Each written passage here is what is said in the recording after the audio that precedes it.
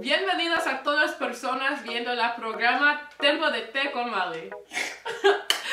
Hoy nosotros tenemos Charles en el programa. Él tiene 27 años, también Charles es muy tímido. Pero últimamente Charles tiene un problema con su novia Lola. Hola Charles. Hola, muchas gracias por me teniendo en tu programa. De nada y bienvenidos. Ahora puedes dime, ¿qué pasó? Recientemente, mi novia Lola devuelve tarde en la noche en nuestra casa. También, ella escondiendo su celular no está normal y pienso que ella está traicionando. ¡Ay, qué lástima! Espero que todo eso no es verdad. Yo también. Ahora tenemos Lola, la novia de Charles. Ella tiene 18 años y es la mamá del bebé. Mi novia es muy terca porque ella no quiere admitir cuando ella está incorrecta. También ella está enojada siempre porque no le gusta su vida. Finalmente, ella nunca es honesta y siempre me miente. Lola, ¿puedes dime qué está pasando? El bebé es suyo.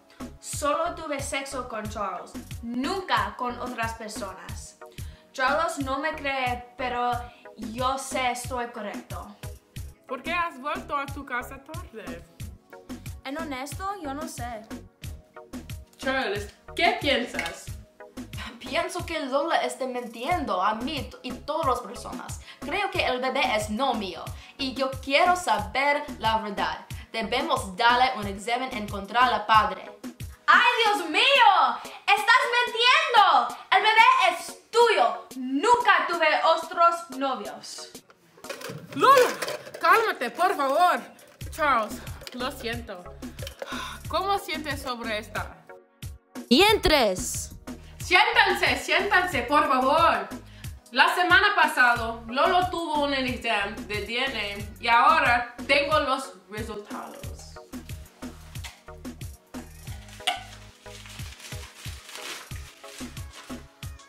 El bebé no es tuyo. Yo lo sabía, eres una traicionera. Esto no puede ser la verdad. ¡El bebé es mío!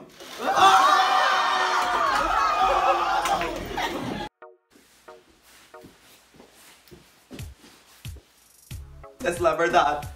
Cuatro meses pasaron a la cena de Thanksgiving, Lola y yo estábamos bebiendo.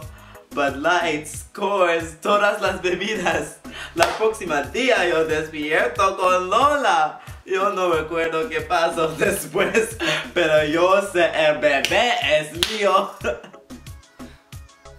No lo puedo creer. Estaba correcto. ¿Quieres pelear?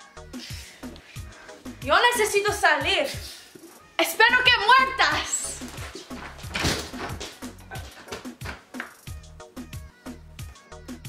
Que debemos pensar en mejor para el bebé. El bebé es única cosa, es importante ahora. ¿Puedes lo hacer? Ellos están terminados. Nosotros también. Hasta luego.